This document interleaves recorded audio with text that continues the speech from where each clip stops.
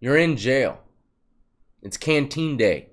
And you ordered about 20, 30 bags of shebangs.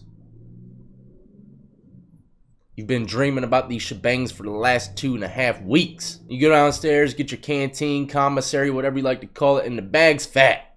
Big bag, because you've got about 30 bags of shebangs. You know, that takes up 90% of your canteen bag. But you stuff it up to the brim, walk upstairs, put your canteen away, and you go to open up your first bag of shebangs. Then all of a sudden your friends come out the woodworks. I can't wait to eat this chip. Oh, oh.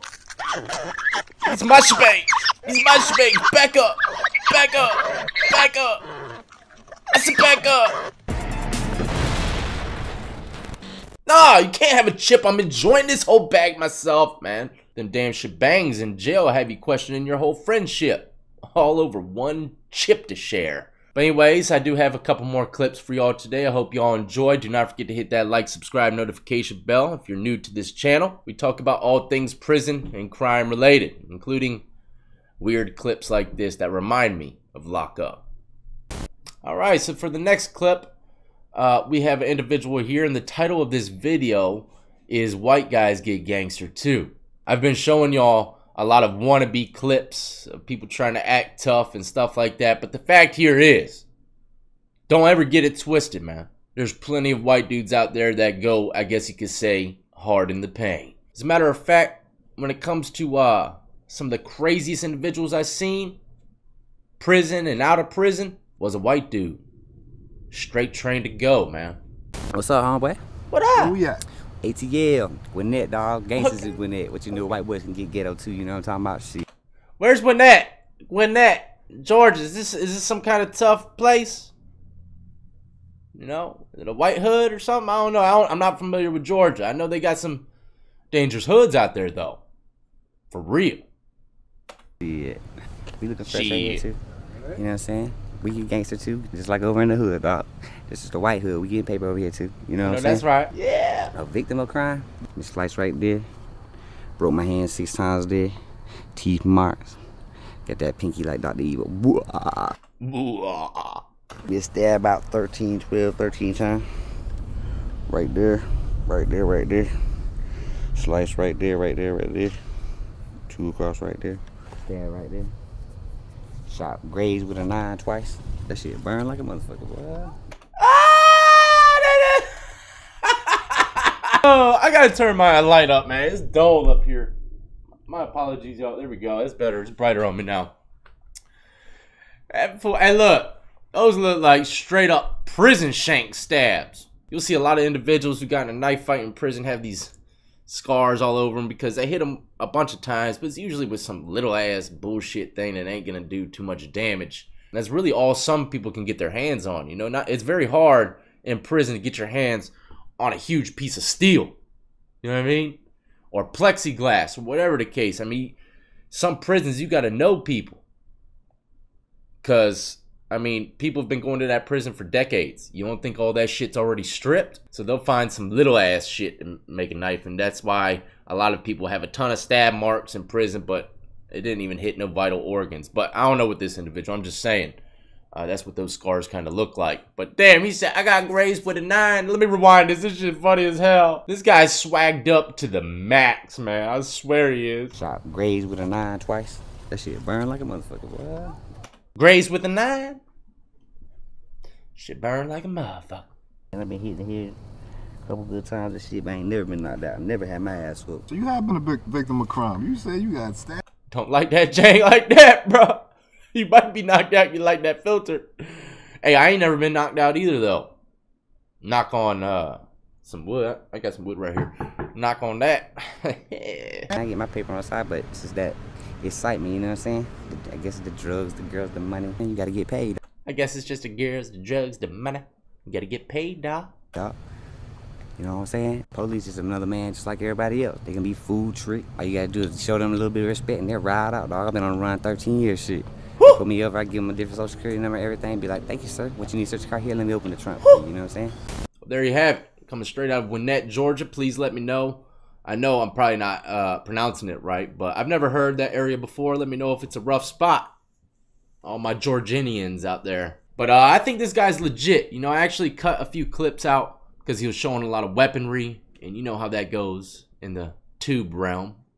Probably wouldn't have been able to show you any of this video if I had it in there, but unless it's a music video. Music videos are totally different. You can show anything you want in them, right? it's art. It's art. Anyways, next clip. Straight treacherous. Gangster to the core. The dude might not be so much a legit gangster, but what he did was probably one of the most gangster things I've ever seen, man. Not really, but it's close. All right, so we got a Domino's delivery driver with his uh, dash cam, of course, playing the safe route because a lot of people, believe it or not, steal and rob from pizza delivery guys. They'll, they'll order of pizza and uh, their whole intentions from the beginning wasn't to get the pizza, it's to get the car and the cash. Pizza guys got a dangerous life too, you know? But the title of the video is Man Steals Domino's Car in Under 30 Seconds. And it's not so much of him stealing it that's crazy, it's what happens during this ride. It's unbelievable.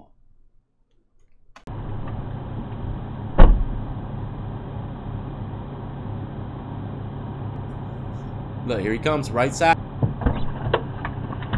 Bingo.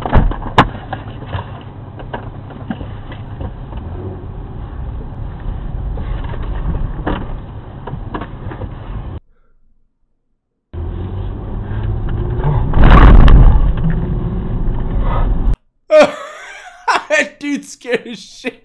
He's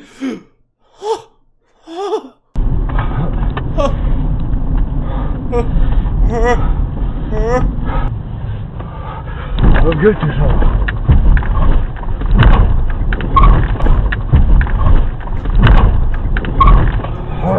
Slow it down, bro. He's already pairing that shit to the car. Oh, gee. Oh, it's a cop. Holy shit! Oh my god, this dude is like tripping. Now, obviously, the dude sees a police officer. One of the first things you never do when you see a cop get behind you is panic. You never reach for your seatbelt real fast and do all kinds of crazy stuff. You just remain calm, right? This dude's doing everything you shouldn't do when a police officer gets behind you. He's for sure going to jail, right? He's looking in the mirror. He's suspect. That cop behind him's like, man, we got a winner. But he's cool. He ain't hit the lights yet. That's one of the most scariest times, especially if you're dirty or you're on a run or something.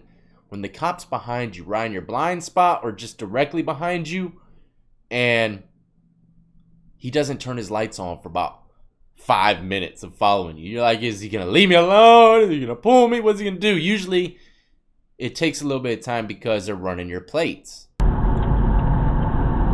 Holy c-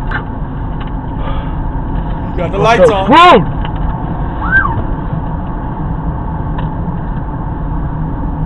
His whole life is flashing before his eyes right now. He's probably getting sober by the second. Man, what kind of police is that? With the Texas hat too? With the 50 gallon hat? Nah, you're done for. Yes, sir. How you doing? Six Highway Patrol. Reason for you to stop you, uh, you changed lanes over there, kind of went unsafe. You got your license prevent insurance on you? No, sir, I have it available right now, sir. I apologize. Okay, I, I you know. been, uh, you under any type of drugs, any influence? No, sir, anything I'm that? completely on sober 100%. Okay. All right, what I'm uh, asking right now, because I know you're kind of sweating, and so Damn cops. You, you could have just left the gym sweating. They're going to think you're on meth. But this guy, you know, he's obviously probably on something here. All right, he can't even freaking say a sentence right. He can't even say a sentence right. He's sweating. He, his pupils are probably like damn massive. Outside. Boy. Tripping, homie. What the fuck? He let him go. That fool let him go. He can't believe it. And they're going, oh, Lord is looking down upon this fool. Ladies and gentlemen, that's what happens when you relax and keep calm. Chive on. That shit's crazy, bro. Woo!